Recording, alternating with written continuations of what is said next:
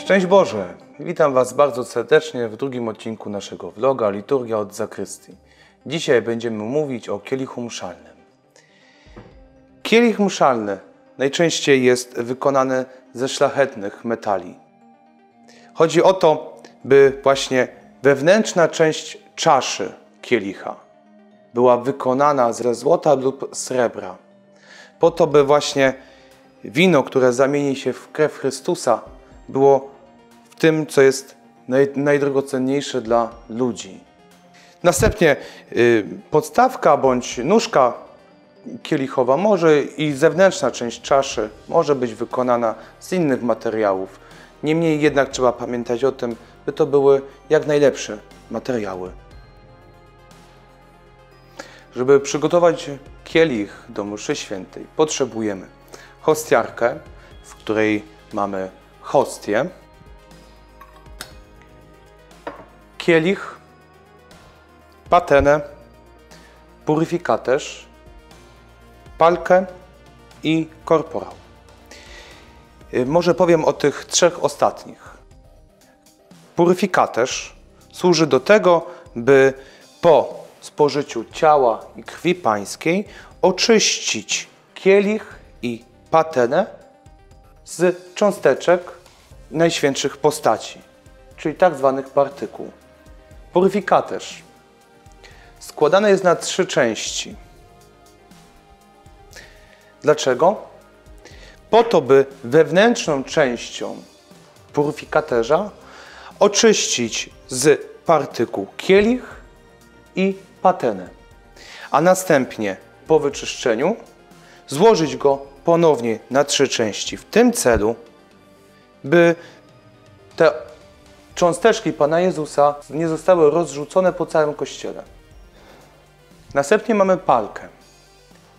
Palkę używa się w tym celu, aby nakryć nią kielich, by uchronić krew pańską przed zanieczyszczeniami, na przykład owadami. Ostatnim elementem naszej bielizny kielichowej jest korporał. Korporał jest materiałem lnianym w formie kwadratu. Na korporale w czasie ofiarowania kładzie się kielich oraz patenę. W tym celu, aby najświętsze postacie podczas łamania na przykład ciała Pana Jezusa, partykuły nie wyszły za obręb tego miejsca. To jest tak zwane miejsce święte świętych. Następnie po spożyciu najświętszych postaci i po wypuryfikowaniu kielicha oraz pateny, korporał składa się od dołu do góry, od góry na dół, z prawej i lewej strony. W tym celu, aby te partykuły, które upadły w czasie łamania hostii, mogły pozostać nienaruszone wewnętrznej części korporału. Aby przygotować kielich do mszy świętej, należy na kielich nałożyć puryfikaterz, następnie patenę, na patenę hostię,